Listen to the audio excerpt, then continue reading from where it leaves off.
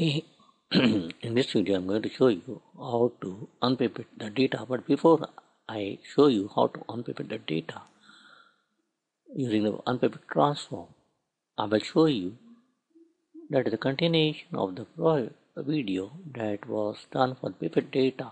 In the pivot data I had used the union all as a destination.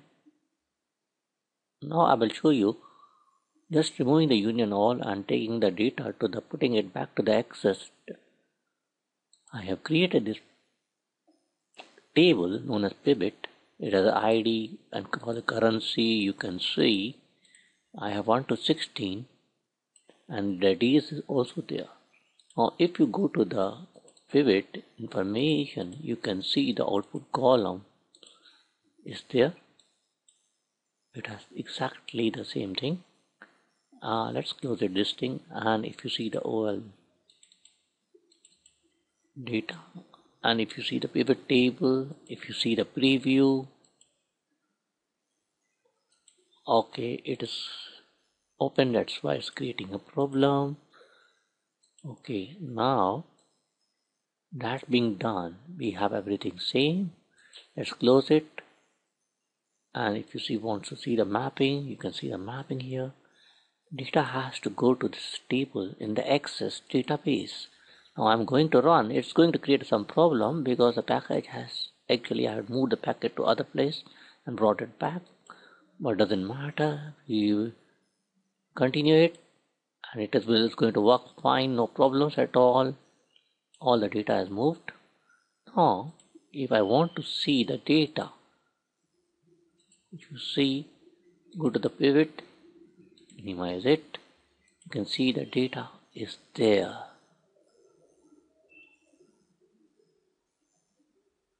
As it is. Exactly as it as we want it. Now that being done let's move to the uh, let's add uh, let's add a new package called new package. Let's call it we have unpivot unpivot already so let me rename it to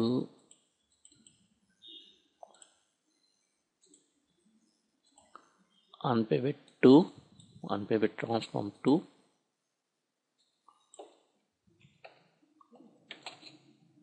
unpivot transform 2 and let's use it yes. Let's drag the data flow from the and double click the data flow. Let's drag the OLE DB source. OLE DB source is our new.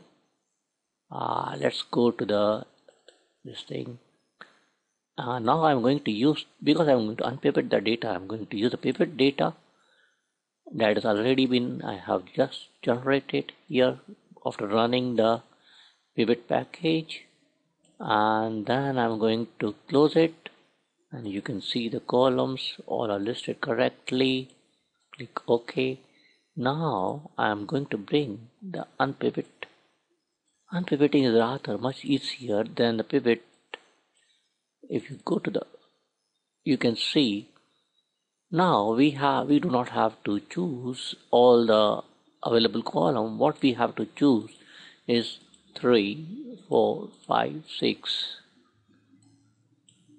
7 8 9 10 11 12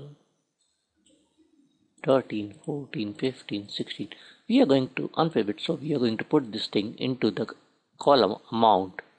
If you are not very sure let's go and look at the table before. So I will just say amount.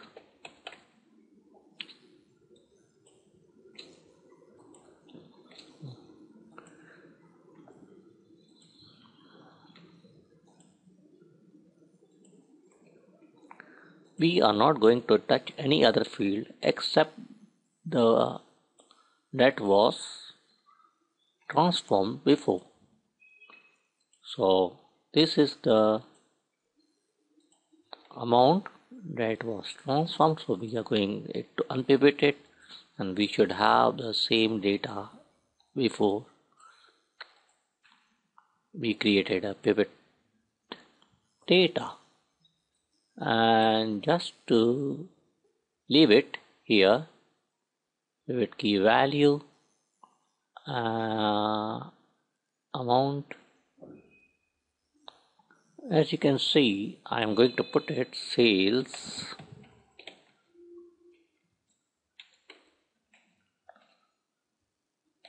Custom.